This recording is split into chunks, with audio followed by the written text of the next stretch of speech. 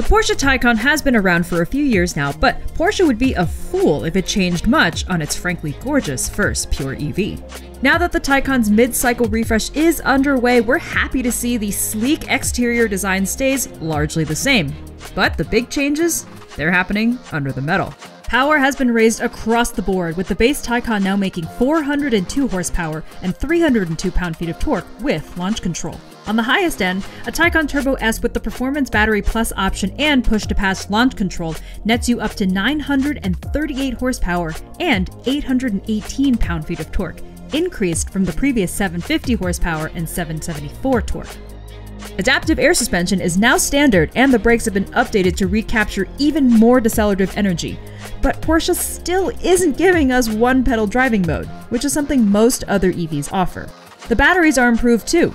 The new base battery has the usable capacity of the old big battery, and the new big battery has even more yet. A better thermal management system means a smoother and faster charging process. And best of all, the batteries do all this and weigh about 20 pounds less than before. Porsche also reworked the Taycan's onboard electrical system, optimizing and consolidating everything. There are minor aero tweaks to the wheels and lower rolling resistance tires. All those benefits stack, by the way, so overall they mean an estimated 30% improvement in range. Very cool stuff.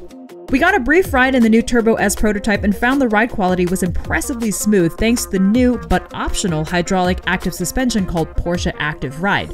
Launch control was mind blowing, as always. The car charged quickly, as promised. Prices for the 2025 Taycan remain high and range from $101,395 to $213,695. They're available for you to order now, and you can expect deliveries to start over the summer.